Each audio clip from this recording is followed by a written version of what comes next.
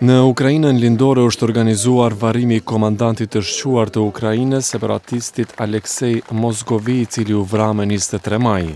Funerali më 27 maj është përcjellur nga anëtarët e njësisë së tij, batalioni Gost dhe banorët e qytetit Alçevsk që kontrollohet nga rebelët. Ende nuk është e qartë se kush e vrau Mozgovin i cili u kishte mbijetuar një sërë përpjekjeve për vrasje, udhëheqja separatiste fajëson Kievin për vdekjen e tij.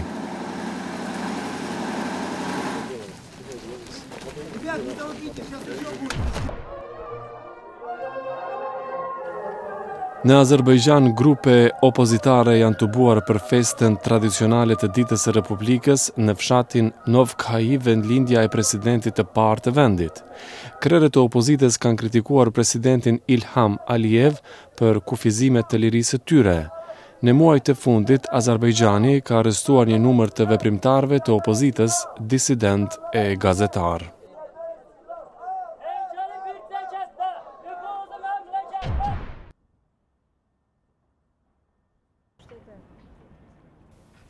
Zyrtarët në Kazakistan thonë se më shumë se 120.000 ka shkuar numri i antilopave Saiga që kanë ngordhur ditëve të fundit në Kazakistan.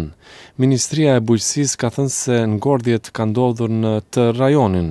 Shkaku i ngordhjeve është i paqartë, por autoritetet dyshojnë se bëhet fjalë për një infeksion bakterial.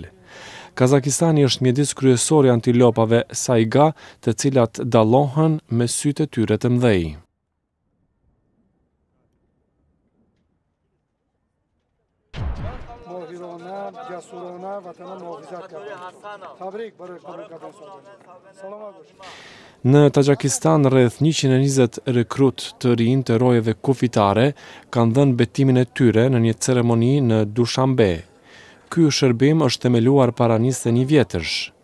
Rekrutëve të rinj u është adresuar dhe komandanti i një njësie ruse i cili është stacionuar në Taxhikistan si këshilltar për roje kufitare.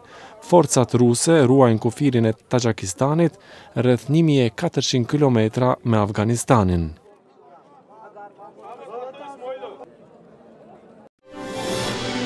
Ishin këto video lajmet e Radios Evropa e Lirë.